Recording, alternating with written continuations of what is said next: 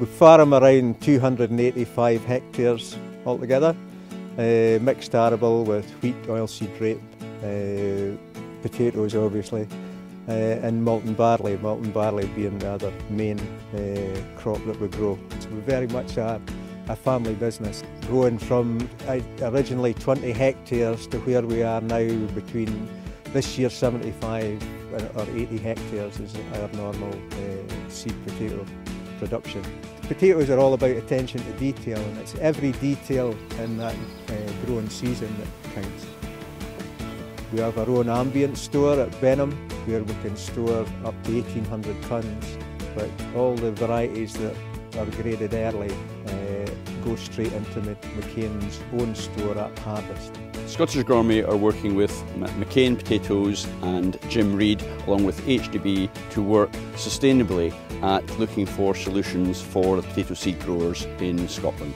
The spot farm this year uh, is seed where the previous spot farm was ware so you know, Scotland is a seed producing uh, country and we have the protected status, we want to make sure we keep it. And AHDB are at the forefront of uh, keeping everybody informed on what we're doing.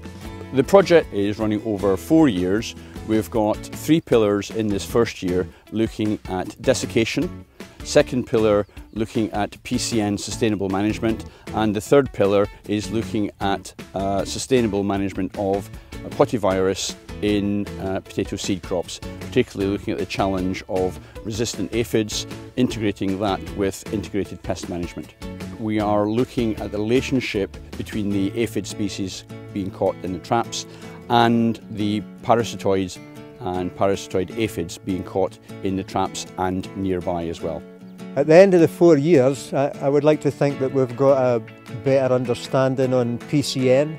We had to change our, our approach to weed control this year, uh, often with a two-spray programme uh, rather than one because we had these desperately dry conditions this year.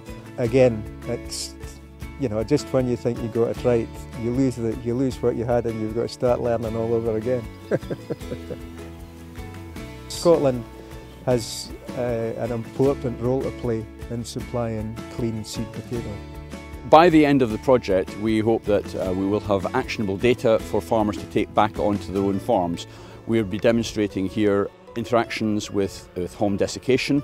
We just had the withdrawal of diquat last year and we're looking at new techniques in order to control uh, vigorous haulm canopy.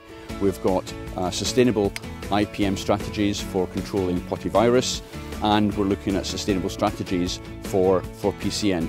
And really we're talking about integrating as much as possible integrated pest and disease management into the programmes of the future for farmers.